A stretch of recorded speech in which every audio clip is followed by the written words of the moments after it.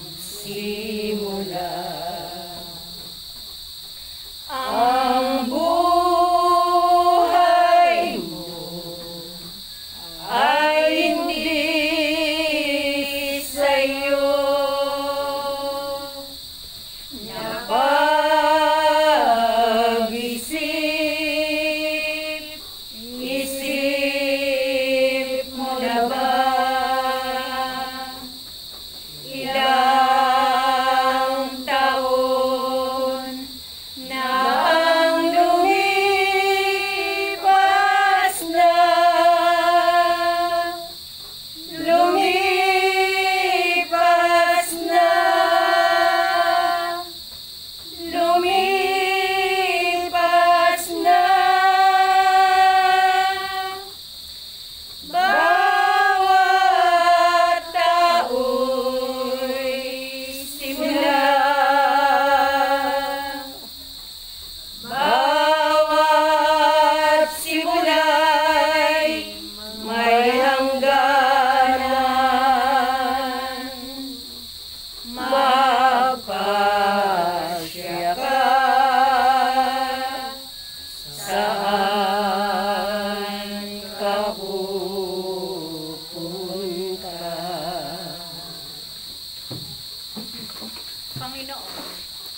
Alalahanin mo ang iyong anak na si Vicente na binawian mo ng buhay ngayon. Yayamang sa binyag ay namatay siyang kasama ni Kristo, naway makasama rin siya sa kanyang muling pagkabuhay pagdating ng panahon, na muling bubuhayin ni Kristo ang mga patay, at bibigyan ng bagong anyo ang kanyang katawan, upang matulad sa iyong malwalhating katawan. Gayon din naman, ang aming mga kapatid na yumao, at lahat na namatay sa iyong grasya ay malugod mong tanggapin sa iyong kaharian. Nananalig kaming magtatamasa ng sama-sama ng iyong walang hanggang kalwalhatian, na dooy papahiran ang matang tigmak sa luha, sapagkat kung makikita ka namin ng harap-harapan o aming Diyos, matutulad kami sa iyo magpakailanman, at pupurihin ka magpa sa walang hanggan. Alang-alang kay Kristong ating Panginoon na pinagbuhatan ng lahat ng biyaya, Ipinagtatagubilin namin sa iyo, Panginoon, ang kaluluwa nitong alipin mong si Vicente.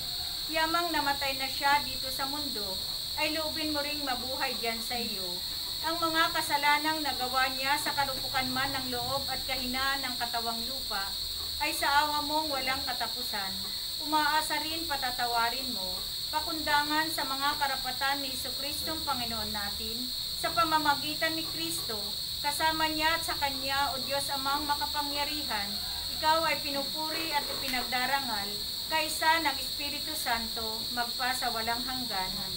Ama namin, sumasalangit ka, sambahin ang ngalan mo, mapasamin ang kaharian mo, sundin ang loob mo dito sa lupa para ng sa langit. Bigyan mo kami ngayon ng aming kakanin sa araw-araw. At patawarin mo kami sa aming mga sana. Para na magkapatawad namin sa. Huwag mo kami paintulot sa tukso at mo kami sa lahat ng masamahan.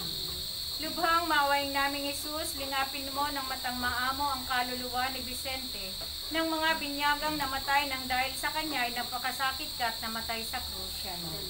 Jesus ko, alang-alang sa masaganang dugong ipinawis mo sa halamanan ng manalangin ka sa amang Diyos. Tawahan mo at patawarin ang kaluluwa ni Vicente. Jesus ko, alang-alang sa tampal na iyong tinanggap ng iyong kagalang-galang na mukha. Tawahan mo at patawarin ang kaluluwa ni Vicente. Jesus ko, alang-alang sa higit na limang libong hampas na iyong tiniis. Tawahan mo at patawarin ang kaluluwa ni Vicente. Jesus ko, alang-alang sa koronang tinik na ipinatong sa iyo at naglagos sa iyong ulong kasantusan-tusan. Tawahan mo at patawarin ang kaluluwa ni Vicente. Alang-alang sa paglakad mo sa lansangan na pinasan mo ang mahal na krus. Tawahan mo at patawarin ang kaluluwa ni.